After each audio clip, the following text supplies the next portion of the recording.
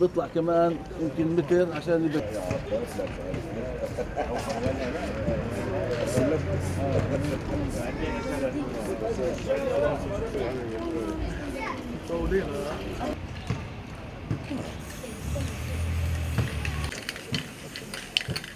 هناك حوادث يومية بتصير. حتى اليوم الصبحيات كان في حدث بيوم واحد ثلاث حوادث.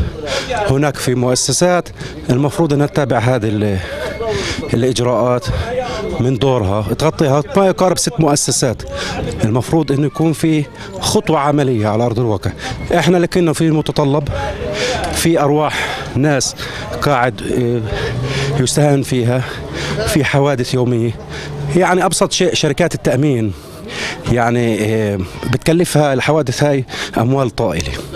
يفترض منها إنها هي تتبرع بشيء بحل إشكالية منها لحالها. لو نفترض إنها بعض المؤسسات الثانية قصرت في هذا الجانب بس ولكن هي شركات التامين أصلا المصلحه إلها إنها توفر على حالها هاي الحوادث اللي بتصير لأنها هاي كلياتها على بعضها ما بتكلفش 50 شيكل. لو بدنا نيجي نقول الحوادث أي أبسط حادث بصير مش أقل من 2000 شيكل بكلفنا عنا هون.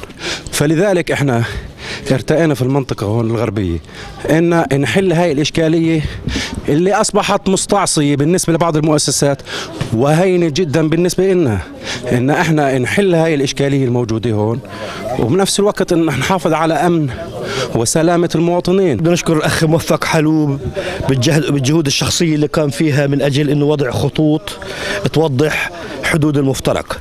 هذا جهود شخصي مشكور عليه الأخ موفق حلوب يا أخي يا خالد إحنا بنستغرب حقيقة يعني. أنا شخصيا بستغرب. الإهمال والتقصير والتقاعس اللي بيصير وقله الخبرة سبب رئيسي من اللي بيحدث هذا. إحنا مش عارفين في عدة اجتماعات في عدة لقاءات في عدة مقابلات حكينا مع الجميع. وتوصلنا للسيد المحافظ ودعا الأخ رئيس البلدية ودعا الأخ مدير الشرطة ومندوبين عن دائره السر لكن لم يفعل شيء كأن شيئا لم يكن. هذا المكان اللي إحنا فيه. معدل تقريبا لا يقل عن 15 حادث بالشهر. ما في أي فعل ولا في أي عمل ولا حدا حرك ساكن. المفروض الإخوة المسؤولين يتحركوا بأسرع وقت ممكن. هذه بلد طول كرم من السهل تنظيمها. من السهل تنظيمها وبأقل التكاليف. إحنا مش بحاجة لماديات الأشياء اللي بحاجة لها أمور بسيطة جدا جدا. لا تتعدى إمكانيات فردية لأي شخص. طرحنا عدة آه، مرات إنه حل هذا الشارع حل هذا مفترق أنا بسميه مفرق الموت. من كثر الحوادث اللي بتمر عليه. فكان الحل هو بس ما حدا سمع لي إنه هذا الشارع اللي جاي متجه من زي مثل هذول السيارات مثل هاي التاكسي العمومي شايفين؟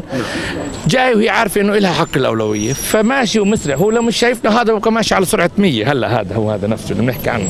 ماشي؟ بيبقى ماشي سرعة 100 السيارات اللي جاي من هون في عندها زاوية مغلقة. فيا دوب بيجي الشوفير اللي جاي من الأمام يا دوب يدخل هون مع سيارة ماشية بسرعة 100 مستحيل يتدارك الحادث. الحل بسيط سهل بدون تكلفة. تكلفة الحل مش بتصليح سيارة واحدة من السيارات اللي اتدمرت ولا سمح الله مش ب- مش بإجر واحد ينصاب في حادث من هذا الحل هو إنه البلدية المفروض إنه ينوضع مطبات من أول الشارع لآخره مشان الناس اللي جايين وهم عارفين لهم حق الأولوية يهدوا السرعة مشان يقدر اللي جاي من هون يتدارك الاصطدام فيهم. هذا هو الحل الهندسي القانوني الصحي اللي تكلفته قليلة وفوائده كثيرة جدا.